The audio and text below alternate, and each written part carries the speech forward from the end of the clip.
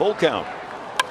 Line drive. That's going to fall in front of Upton. And here comes Polanco. Here comes the throw to the plate. It's offline and on to second base goes Harrison, and the Pirates take the early lead.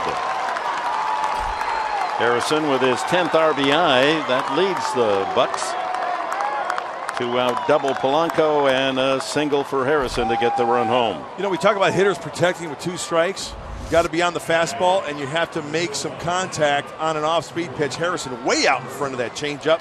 Now the race is on. Melvin Upton Jr. charges this one. It's just offline, and good job by Bethancourt just holding on because not even close at second.